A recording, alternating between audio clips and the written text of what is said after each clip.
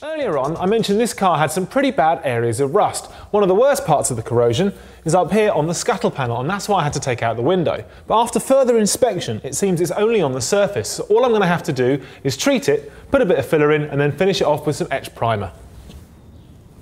I've removed all the flaky bits of corrosion, and now I can use my rust remedy. Now what this stuff does is chemically change the iron oxide into a solid firm material. That way my filler will definitely adhere. The other great thing about this stuff is it actually prevents rust from reforming on the treated area.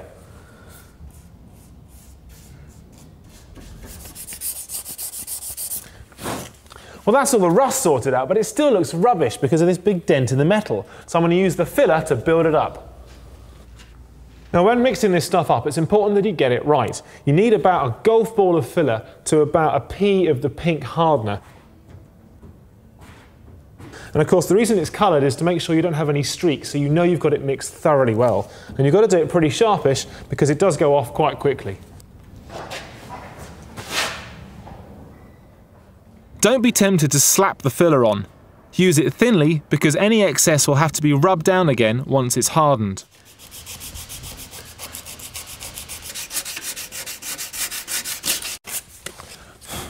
You don't want to be too rough with this stuff because if you remove too much filler, you'll only have to put some more on later.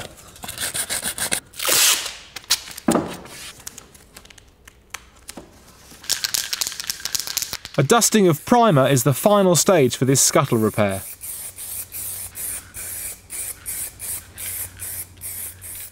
I've got a few more repairs like this one to do elsewhere on the car, but once they're all done, it's ready for paint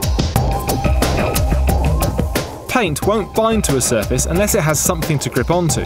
Strange as it seems, I'm using these scotch pads to put tiny scratches into the surface of the car. The MG is going to be professionally primed and resprayed which will cost big bucks, but by doing all this prep work now, I'm saving time and money in the body shop. Well, the first job in this little process is going to be to clear up the metal to see how bad the damage is. So I'm going to grind all this stuff off with a little grinder. obviously there'll be things flying around, so I'm going to wear some eye goggles and some earmuffs just because I don't want to go deaf.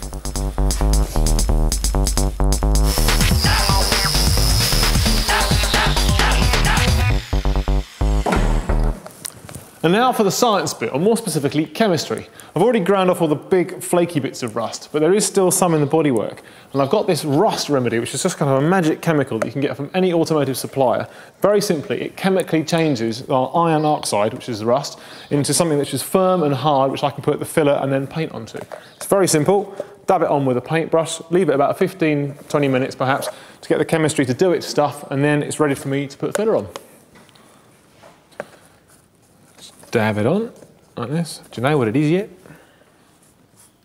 I'm trying to get all the exposed areas of the metal.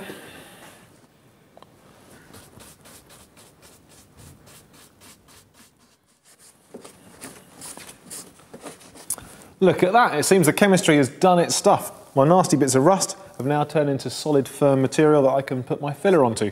All I have to do is mix it up and bosh it on. This is standard filler, Mix a golf ball of filler to a pea's worth of hardener. Then mix well and lay it on thinly.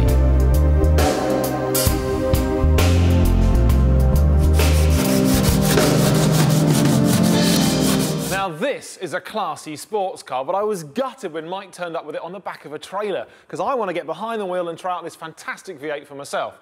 Now, of course, unless I sort out that rust on the underside of the car, it's never going to get back on the road, so I need to get it up in the air and have a really good root around. Mike bought this car because the paintwork looks good and he only found one patch of nastiness underneath. But it's only when you get the car on the ramp that you really know what you've got. Uh, now just keep going down here. now this is obviously what Mike was talking about. I can actually get my tool right the way through into what feels like probably the carpet. On the other side here, at the front, oh look at that, loads and loads of rust. So I'm going to have to repair all of this, but before I can start cutting out all the rot, what I need to do is get the car back down on the floor and check out the interior for things like the wiring, carpet and seats and see what else is in the way.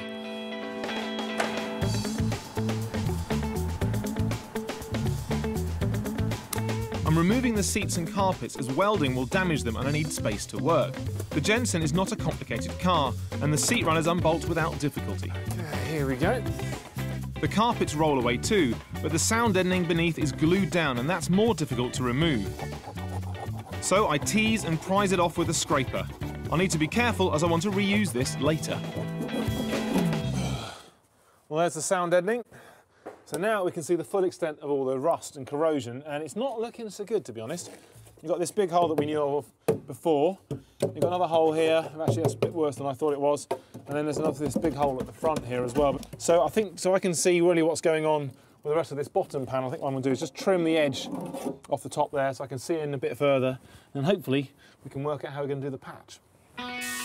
I'll be using this plasma cutter to cut out the rust. It gives me a very accurate cutting line, ideal for working in tight spaces.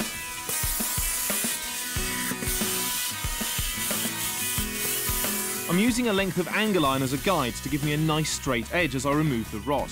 There are actually two metal skins in the footwell, and once I've removed the top one, I can see how bad the damage is underneath.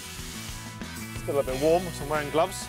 So that's the bit of rust I can now remove, get rid of that. You can see underneath there, actually, obviously the first little area, the first edge here is a little bit soft, quite corroded, but further back it's actually quite solid, which is very good news. So what I just need to do now is just probably just get rid of all this rust. Look, there's tons and tons more rust underneath there. So I'm just going to cut all of that out and then we can start putting metal back in. Now that's looking pretty good. It fits where it touches, which is the main thing. After a few more adjustments with my grinder to ensure a perfect fit, I can tack and then seam weld the panel into place.